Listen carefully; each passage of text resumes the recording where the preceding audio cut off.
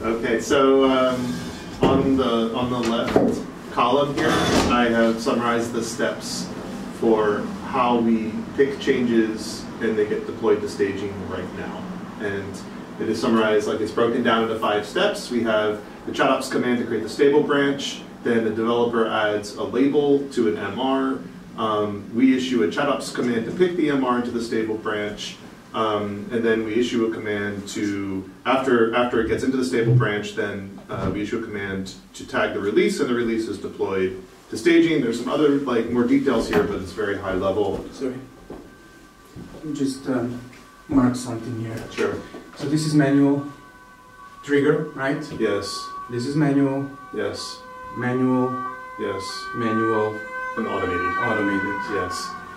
So, um, first one is we're in auto deploy. We're going to be automatically creating these branches, and they're called auto deploy branches. Um, most of this is done. Uh, we have like the tasks to create the GitLab EE, Omnibus GitLab and deployer branch. I put some to dos or some questions here. Do we want to also create a branch on GitLab CE? We have to. We have to. So the answer is yes. Mhm. Um, does the branch name end in EE or does it, uh, is it the branch name going to be different for GitLab CE and EE? I would like for them to be the same if possible. Then again, though, we have this convention everywhere on the Yeah. prepare branches, on the stable branches, where on EE it ends in EE, on CE it doesn't. Exactly, that's the problem. And why do we actually use the E? Because we don't then have to supply uh, E I'm- environmental I'm- variable. But I'm setting that, ex- I'm being explicit anyway. You're setting it. Yeah, I think, well, we haven't done that part yet, because that's uh, down, um, you know, uh, down here, but, Let's so I would say we keep. Put a- Yeah, put a pin on it and let's decide uh, later. okay, If anything, I'd say we want it, we want nothing to end in dash E. Yeah, I The exactly. only reason we have a dash E is because of omnibus. Exactly. So let's put a pin in it until we get to that point. okay. And I'll just say You can use maybe- the black marker as well. Yeah, that's a good Just- idea, actually. Or your red one. Depends on what you prefer. Perfect. Um, so, Decide. Yeah.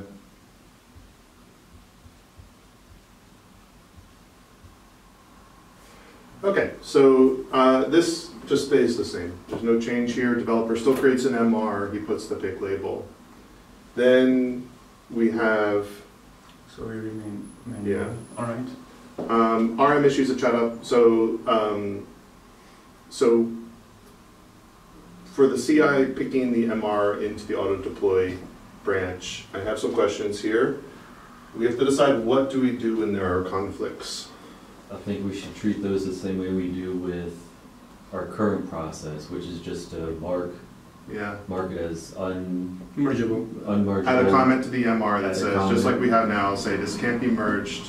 Yeah. Um, I I would would love to- add another thing though. I would love to extend it so we could remove the pick label if that's something that's worth doing, uh, because I don't want to pick it in the future until that MR is touched by the developer and fixed. I It's think necessary. we would want to be explicit there and leave it, leave the pick label, and next time it comes around, the bot should leave another message. But I think we should possibly expand it to uh, at mention the uh, author.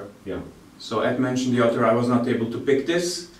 Um, please, you know, create an MR with resolve conflicts or something like that, or rebase on top of the branch Should or we add a new like label indicating that at this point in time, I think we should be Something. super annoying with it. I think we should just uh, leave labels as they are with Yeah. pick into, um, because one of the problems we had with security uh, automation was you have this silent reassign. Yeah. You know, and we slipped one or two times with it. So if we just leave the comment every time we try to pick it, it's gonna Yeah, we act couldn't pick this. We couldn't pick this. We couldn't, yeah. Exactly. we couldn't pick pick it, this. but I would love to tag the author in that Yeah, comment yeah, yeah. as well. Tag the author. Just say like to author, author. I couldn't actually author and reviewer. How do we know who reviewed Hmm? it? How do we Should know who assignee. Oh, sure. Author and signing. Yeah, author and assignee. so author and reviewer. Yeah, author and assignee, like use the GitLab terms. Okay, um, I think the answer to this, if we're creating the GitLab CE branch, we're gonna probably pick into the GitLab CE Yeah, and then and then do a merge. Yeah. Is that, oh my god, I can't wait for the single code base. This is so many workarounds. yeah, Yeah, because I'm not even sure that our API supports. The API doesn't, APIs. but- It doesn't. but the, um, we can't use the API for the CE to EE merge anyway. Right, no, we'll have to use merge train for that. that's what I'm saying, like, as long as we're having to like check it out for cherry picking, we might as well just do a merge. instead of Probably. Cherry picking a bunch of stuff. Okay. Um, True. So after all of these changes have been picked into the repos, and maybe even we've done the merge via the merge train or something, now everything's on GitLab.com. Do we push then to dev, or do we let the, because the repo sync will do this, it's a protected branch, auto deploy. Do we just let the repo sync do it? No. Or do we do an explicit push to dev? We do explicit push to dev. Make sure it works, right? Exactly, um, because the uh, mirroring works until it stops, and then when it stops, it actually emails a maintainer, I think, or something like that, and you know, no one does any, any action on it because it's not really actionable. You just say, you have like, oh, mirroring is not working for some reason. And the last thing I just added is how do we handle security picks? Maybe we just say this is TBD for now. um, Security picks from. For, from dev, so security MRs that we want to auto deploy, and these would be unreleased changes. So Um, this is where that communicate or discussion we had on um, on the design doc is coming into play because if we have um, so the source of truth for deployment is dev.gitlab.org, right? Um, that source of truth should be receiving updates from um, security repositories, not directly from GitLab.com repositories, as in not from public but from security ones. Yeah. So that's why we should leave this to be decided.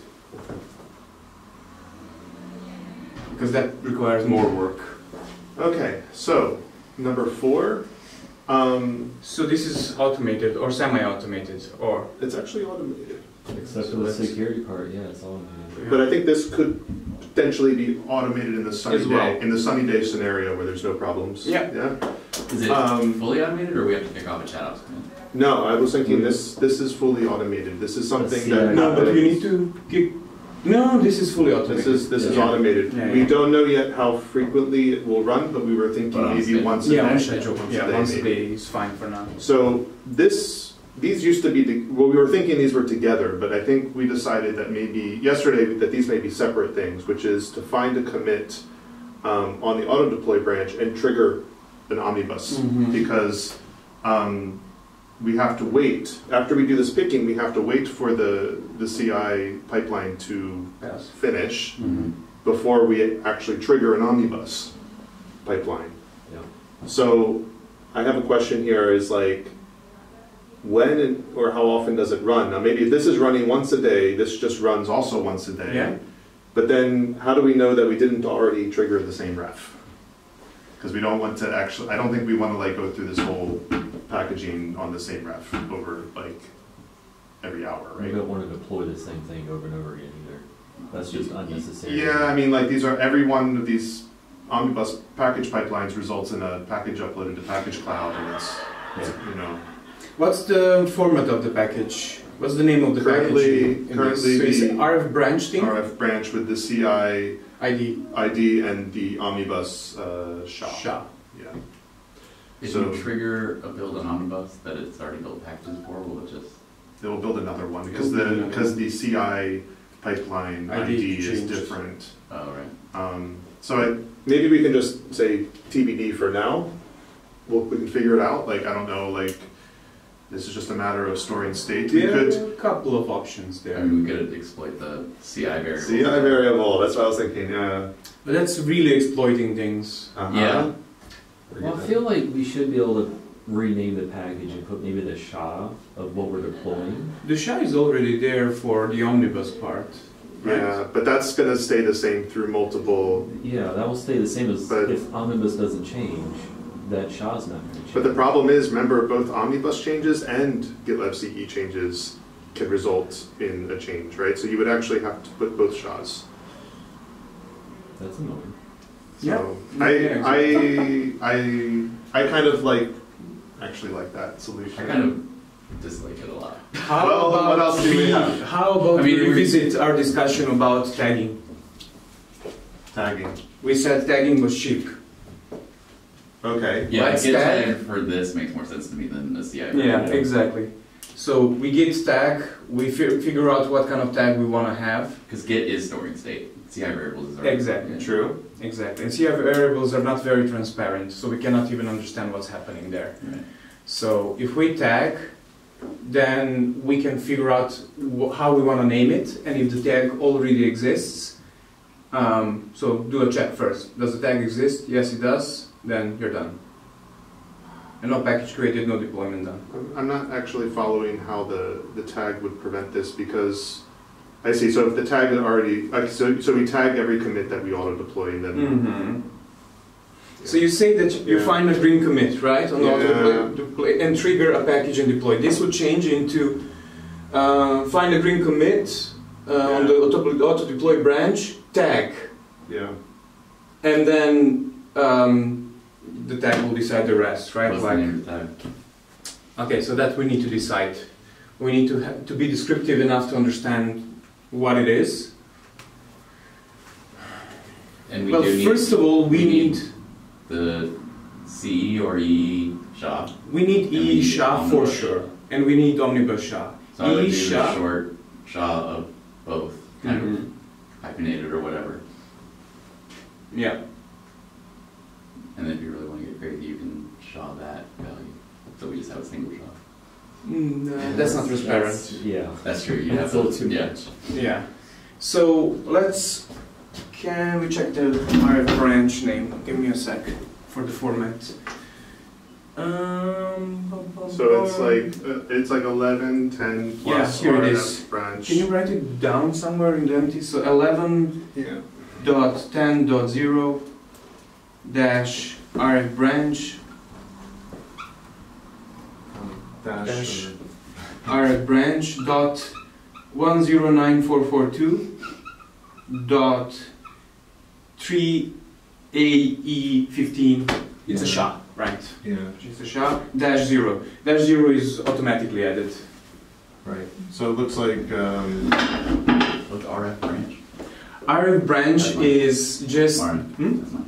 Oh, sorry. It's good. You should say that. RF branch is just a name that we figured out because of the uh, naming, package naming um, constraints. So, for example, um, the reason why this is F is because it is after RC, uh, right? So, um, this would cons- be considered like if you install an RC and then you install RF branch on top of it, then it's an upgrade. If we set Yeah. RB, then it would be considered a downgrade. That's packaging standards. Jesus. yeah. Wow. Why not RD? Hmm? Why not RD? Um, I don't know. And, and you know what, yeah, you know what happened last night is that I built a bunch of these. Uh huh. And the ops instance is automatically in a cron job updating to the latest build and staging. So it, it, it automatically updated to the auto deploy build, All right. which actually wasn't nice. No, not, not, not 'Cause I didn't- Too much But I- I actually- Yeah, too much yeah. automation. So um, yeah, because of that reason. 'Cause So- um, yeah, Here's the problem with this part.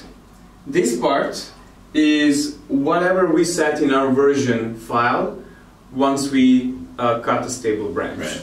So the reason why this is 11.10.0 is because no one Free. up exactly no one updated the master branch to say 11.11, We never go. Which is Wait, a yes, we problem. do. When we tag, We do. We have to, right? when we tag eleven ten zero on Mhm. the twenty second, it does get updated. it It- becomes eleven 10 eleven zero pre. Pre. Or no, Yeah. eleven ten pre or eleven. 11.11 pre. I think I it's the we bump next. it. It's the next one. Yeah. Next breed, I think. I think we bump it because on major upgrades we have to go in there manually and Yeah. set it to twelve. Yeah. yeah. And I mean, obviously, like changing this now would be a problem, but this we can change to something else. So as long as we keep that, uh, you know, R needs to remain, and if we want to increment it here, and we can name this the, whichever way we want, and then we can remove, like, oh, actually, we cannot remove the pipeline ID. So the reason for this is, if you have, um, if you have the EE SHA remaining the same, Is this documented anywhere else? and omnibus somewhere it is. No, that's how I'm keeping my job, Yeah. uh, Robert. so, if omnibus doesn't change and if E doesn't change, you do not have then um, a way to force a package build. Again, the package will remain the same. So we need omnibus pipeline ID, but this, but this is like, we can't use this as part of the tag because we No. don't know it yet. You know. Um, but we definitely need the omnibus SHA. SHA, Mm-hmm. um, EE SHA for sure. and EE SHA. So should the tag just use these two things? Well, why do we need the pipeline ID? You were, you were This is about to the. explain. this is the package version, right? Yeah. This is the package version. So the sha- uh, the, tag, the tag actually would um, remain the same, which means it wouldn't be uh, rebuilding the package. We would abort the package build before um, because we would try to create a tag and it already exists and that would fail. And the way we would rebuild this package if we needed to is delete the tag, Mhm. basically, right? Just delete the tag and the automation will, will create it again Yeah. and tag the rest. And then this allows us to have the package remain whichever way we decide, basically. The thing though is, if we start tagging, then we have another problem in Omnibus, and that is um, how do we um, how, do we make a distinction between Yeah. the final release that we want to release to public and the auto deploy? Because a lot of logic in Omnibus is tied to tag versus It branches. is. It is. Um, I mean, we can use uh, a CI. I think we can use a CI variable, just auto deploy equals true, which is what I'm doing now in the CI pipeline, Mhm. to limit the number of stages that are run, and also to auto deploy right now to pre-prod instead of staging. So Mhm, mhm. um, I think that will be fine. But I'm still like, what is what is the tag gonna look like? It's gonna be 11. So the tag will be like 11, 10, and then No, the, ta- the tag should be 11.10.0 Okay, eleven dot ten dot zero, and then let's use. or maybe eleven dot ten, right? Because I don't think we want to include, No, you're right. You're So right. We don't need 11.10. that. 11.10. and then Dash. Mm-hmm. Um, I would say EE SHA. Okay. Which is a bit strange to have a SHA and a tag because the tag kind of like. sure, SHA. But I guess it, Well, but it needs it if it's the same as this, then yeah, we need it. Okay.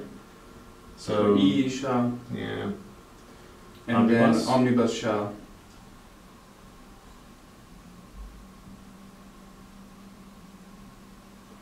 And that's it. And that's it.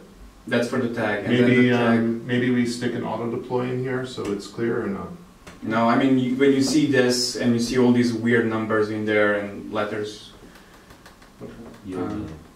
So here's another question: um, How is this gonna affect um, us switching to non-omnibus deploys? Well, I mean, I think and the omnibus So- SHA doesn't matter in that case, right? Omnibus SHA does not matter in that case. But uh, where did we? Where did we? There we go.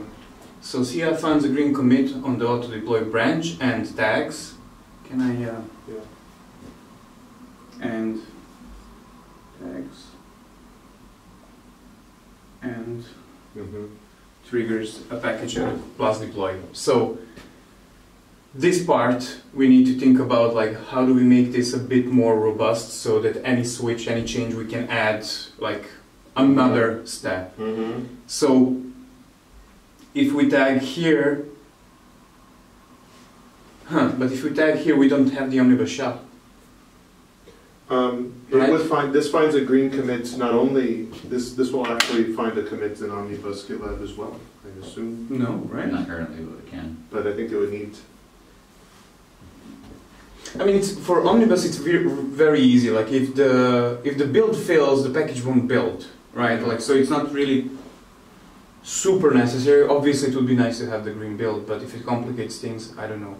Like, my my only concern is um, we are going to add more steps, right? It's not only going to be uh, installing a package. We are working towards con- like using containers as well. So if we make a decision here um, that is going to rule out us using another system, yeah, um, I would like to make it a bit more robust if possible. right. Marin, if the omnibus tests are failing, and we don't do that step where we find a green build for omnibus, do we create a situation where we've created this tag, omnibus triggers, the build fails, but the tag still exists, so we never re, Yeah, we would have to. We would well, you we would have to fix something in Omnibus, which means SHA would change. Sure, So you would have to retag. yeah, Um, if it was an intermediate failure, you can retry it. Uh, and like the nuclear op- nuc- nuclear option is remove the tag and do it again. But just to be clear, right, we're creating these auto deploy branches on Omnibus GitLab as well, so we should find a green commit on the, on, on the auto deploy branch on Omnibus GitLab. Right? I don't think it's necessary, you know. Why Yeah. not? Like, why not treat Omnibus, because that way you could pick changes into Because then you- GitLab the same way you're picking changes into GitLab, GitLab EE, right? Right, but there is like two things that that um, that you need to care about in Omnibus. Then uh, the the specs running on GitLab.com Mhm. and the build, like package build running on that Mhm. GitLab.org. We have that separate. So you would have to like make logic that says, find me green commit on .com and find me green commit on that GitLab.org, and then decide if both are green. But Um, that's what uh, Robert has done already, or you're, that's what you're proposing, right? Is you're finding the green commit on GitLab.com and ensuring that it's also on dev. that's what we're doing for C and E, and we can easily add it for omnibus, Yeah, I would say do the same. we same. just give it a different project. I would say do the same. Like, I would like to shoot to treat Omnibus the same as GitLab EE for these auto deploy branches and. yeah. Okay. I'm- makes sense. I'm, I'm fine with that if we're not adding like too much overhead because uh, Omnibus needs to be green, or rather, Omnibus will fail, like it just won't build. Right, right, yeah. So on. it's like you kind of guarantee you have a green pipeline just by that fact, right? That it's gonna. exactly. But if you're saying that it's not problematic to just expand this a bit more to add Omnibus, then fine. Because if you make it generic enough, we can, um, you know, not only depend on Omnibus, but also have whatever else we add on top, right? Like building the, the containers, uh, container images that we want to do as Yeah. well. So there as well, it's going to be the same problem, right? If the image won't build, then there is nothing to deploy to Mhm. begin with. But I guess for consistency's sake, yeah, sure. Like keep it green, I guess. Okay, let's see how it works out. Yeah. Okay, so this. But then what does uh, this tag become? I assume that this would be the SHA of the, the green build on dev for EE, and this Yeah. is the SHA of the green build on dev for Omnibus GitLab, which is the latest green build on the auto deploy branch. Right, that's fine. But what I'm asking again is if I add another project here, which is charts, for example, what does Yeah. that become then? Well, we could have a new SHA, like, you just keep on adding, So you have a different SHA if you have I guess. two tags? Oh. I'm, So this is where the problem starts. Uh, because we are treating Omnibus as one of the sources of truth, uh, we have a problem of expanding this further. So we are building a, a lot of this on Omnibus and we're reaching a point where we need to have a better source of truth. This is the point where we need a manifest project. Yeah. This is the point where we need a manifest project. But that's a lot of work. Yeah. That's a lot of work. And I don't think we can get away with that at the moment. So, keeping it simple, I guess we need to continue with what we have described here. Okay. And that is Omnibus uh, is in, included. And once we get to the point, I guess, I think as soon as we start adding another project, this is the point where we need to think about um, making a better versioning system for GitLab. Because versioning is the hardest thing to do in any software. And now we, uh, I think, reached the point. Okay, so I think it's a good plan. It kind of sucks because the omnibus pipeline changes that I worked on are gonna have to be refactored for this, because they didn't assume a tag before, but maybe it won't be that bad. It won't. If you said that you're passing on to deploy uh, Yeah, environmental Yeah, variable, but it's, there's a lot of, it- it's, a- it's really messy because of all the um, tag, tagging conditions that are built into the pipeline that I were taking for granted, I was taking for granted that we would, didn't have a tag, which would, so I just need to add a- more conditionals and hopefully, um, the only accept logic is really like, it's very limited. in what you can do. I'll uh, I can look to together with you today uh, inside of Omnibus and like see what kind of changes because if it means rewriting the whole YAML uh, section of Omnibus, which is already too big, um, even after the splitting in, in like multiple f- files, Yeah, we might need to rethink this whole thing. Okay, let's take a look, or we'll see, um, So.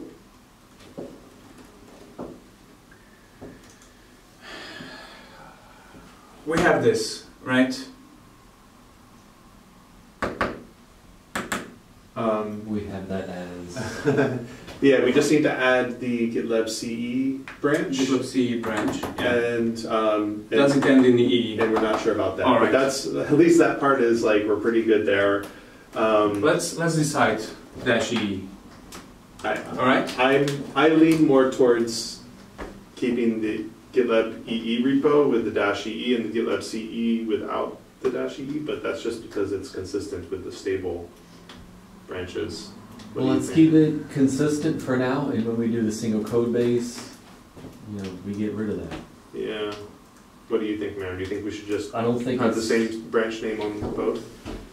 Like the thing is, I'm I'm kind of fearful that with all change all the changes that uh, single code base is bringing, um, we we don't need another place where we need to remember uh, to change things around. And because these branches are auto-deploy branches, they're temporary branches to begin with, it feels like a bit redundant to have dash e in them, especially if you say that you are passing e and variable. Yeah. So that's why I feel like, because that also helps. Yeah, I don't know. I don't know. I, I would I would remove dash e.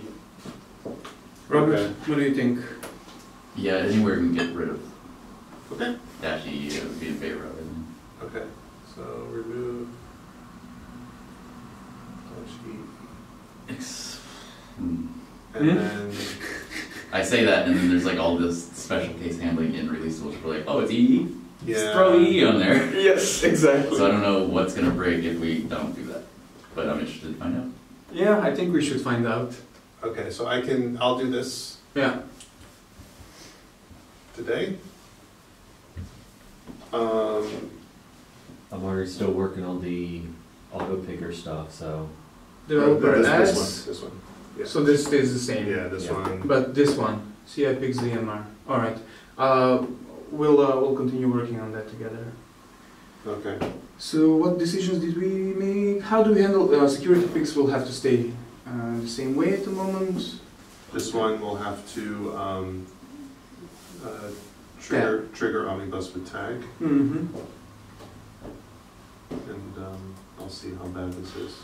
That I'm I'm already getting a bit concerned with that one. I know how much uh, Yeah. logic we the have. in problem is you change one thing and then you have unintended side effects. Exactly. You know. Exactly. Um, but I'll. Yeah. And this remains the same. This is the only thing. So this is the tag. This is the basically thing. Yeah. So Cool. I do have to ask another question. Yeah. Every time I see this board or think about this, Yeah. what makes it so complicated in our use cases? Like, how are our customers doing this It's impossible that they have full teams just dealing with this stuff. Um, given that we have a monorepo, it's very, or something like similar to a monorepo, it's very surprising how complicated it is.